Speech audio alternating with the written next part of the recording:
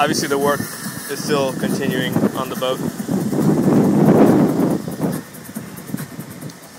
Wind is uh, quite nice. Notice the wave patterns. It's rocking the hell out of the boat. We're in uh, 45 feet of water and the edge is right over there. A man-made lake where a bunch of bulldozers dug straight down in one line all the way to perimeter. Still lots of work to do. But at least we're running cool. Got good temperature.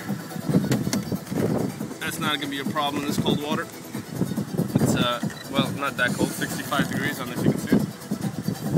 Let's see. That's the, the mirror and yeah, can you see the rocking right there? Yeah, check that out. Yeah, I'm trying to hold it steady. Uh, we're gonna run across this thing real fast and hard in just a minute, just to see what the boat can do under rough conditions in case, in case I'm, I don't know why I'd have to go fast. Sure, there'll be a reason, we'll find it. Okay, hold on.